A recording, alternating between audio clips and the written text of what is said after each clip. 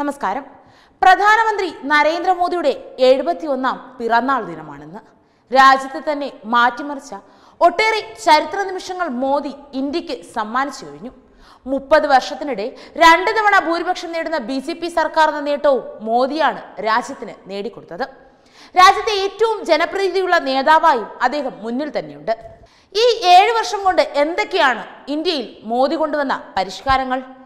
Not നിരോധനവും G S ടിയും അടക്കമുള്ള കാര്യങ്ങൾ മോദിയുടെ നിർണായക തീരുമാനങ്ങളിലുണ്ട്. എന്നാൽ ഏറ്റവും മികച്ച പത്ത് തീരുമാനങ്ങൾ ഇക്കാലയളവിനുള്ളിൽ വന്നത് ഏതൊക്കെയാണെന്ന് നമുക്കൊന്ന് നോക്കാം. ഇന്ത്യയിലെ ശുചിത്വത്തിനുള്ള യജ്ഞം ജനങ്ങളിൽ നിന്ന് തുടങ്ങണമെന്ന ലക്ഷ്യത്തോടെ ആരംഭിച്ച പദ്ധതിയാണ് സ്വച്ഛ് ഭാരത് അഭിയാൻ. ഇത് വലിയ തരംഗമായി മാറിയിട്ടുണ്ട്. രണ്ടായിരത്തി പതിനാലിൽ മോദി അധികാരത്തിൽ വന്നതിന് പിന്നാലെയാണ് ഈ പദ്ധതി നടപ്പാക്കിയത്. ശുചിത്വത്തോടെയുള്ള ജനങ്ങളുടെ കാഴ്ചപ്പാടിൽ മാറ്റം വരുത്താനും ഈ പദ്ധതിയിലൂടെ സാധിച്ചു. മോദിയുടെ ബ്രാൻഡിൽ പിന്നീട് മുന്നിൽ നിന്നത് സ്വച്ഛ് ഭാരത് തന്നെയാണ്. നോട്ടു നിരോധനമാണ് മറ്റൊരു സുപ്രധാനപ്പെട്ട കാര്യം. രണ്ടായിരത്തി പതിനാറ് നവംബർ എട്ടിനായിരുന്നു ഈ പ്രഖ്യാപനം വന്നത്. അഞ്ഞൂറ് ആയിരം രൂപ നോട്ടുകൾ അസാധുവാക്കുകയും പുതുക്കിയത് വിപണിയിലേക്ക് കൊണ്ടുവരികയും ചെയ്തു. രണ്ടായിരം രൂപയുടെ പുതിയ നോട്ടും അവതരിപ്പിച്ചു. രാജ്യത്തെ കള്ളപ്പണം കണ്ടെത്തുക എന്ന ലക്ഷ്യത്തോടെയാണ് നോട്ട് നിരോധനം പ്രഖ്യാപിച്ചത്. ഡിജിറ്റൽ കറൻസിയിലേക്ക് മാറാൻ ഇത് പ്രേരിപ്പിച്ചു. ജി എസ് ടിയും ഇതുപോലെ തന്നെ നിർണായകമായ ഒരു പ്രഖ്യാപനമായിരുന്നു.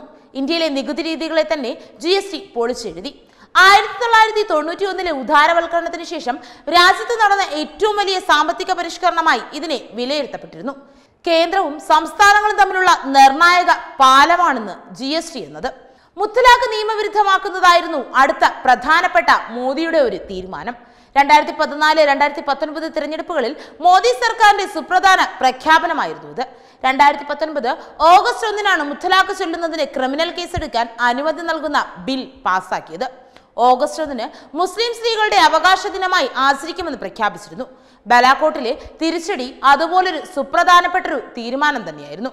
നാൽപ്പത് സി ആർ പി എഫ് ജവാന്മാർ കൊല്ലപ്പെട്ട സംഭവത്തിൽ പാകിസ്ഥാനെതിരെ സർജിക്കൽ സ്ട്രൈക്ക് നടത്തിയതായിരുന്നു ഞെട്ടിപ്പിച്ച ഒരു കാര്യം.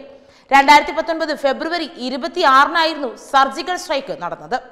അതോടൊപ്പം തന്നെ ജമ്മു കാശ്മീരിന്റെ പ്രത്യേക പദവി എടുത്തു കളഞ്ഞ തീരുമാനമാണ് മറ്റൊരു സുപ്രധാനപ്പെട്ട കാര്യം. ഇതും തിരഞ്ഞെടുപ്പ് വാഗ്ദാനമായിരുന്നു. രണ്ടായിരത്തി പത്തൊൻപത് ഓഗസ്റ്റ് അഞ്ചിനാണ് ഇത് നടപ്പാക്കിയത്. കശ്മീരിന്റെ സംസ്ഥാന പദവിയും പ്രത്യേക പദവിയും കേന്ദ്രം എടുത്തു കളയുകയായിരുന്നു. കാശ്മീരി പണ്ഡിറ്റുകൾക്ക് സ്വന്തം നാട്ടിലേക്ക് തിരിച്ചു വരാൻ ഇത് വഴിയൊരുക്കുമെന്നായിരുന്നു കേന്ദ്രത്തിന്റെ പ്രഖ്യാപനം. ജമ്മു കാശ്മീർ ലഡാക്ക് എന്നീ രണ്ട് മേഖലയായി ഇവയെ മാറ്റുകയും ചെയ്തു. ഇതൊരു വൻ വിജയമായി തന്നെ മാറുകയായിരുന്നു.